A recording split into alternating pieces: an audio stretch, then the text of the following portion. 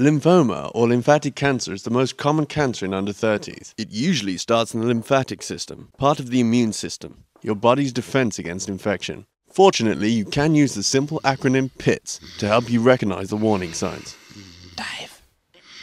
Dave.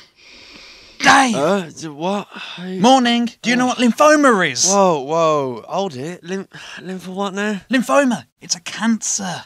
And I need to know this because. Because it's important. There are these four signs to tell you if you might have it and everything. And S- stop, just just leave me be, alright? but the P stands for persistent lumps. You're a persistent lump. well, I might be. You can check in the neck and the groin too.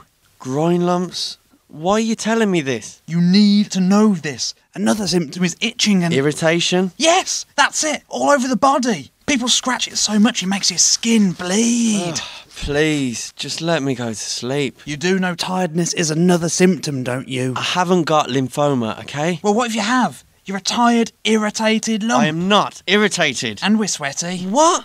Talk for yourself. Uh, well, well, not very sweaty. Lymphoma in young people is highly curable. If you notice some or all of these symptoms, don't wait. Contact your GP or call the Lymphoma Association's helpline on 08 08 808 5555. What was that number again?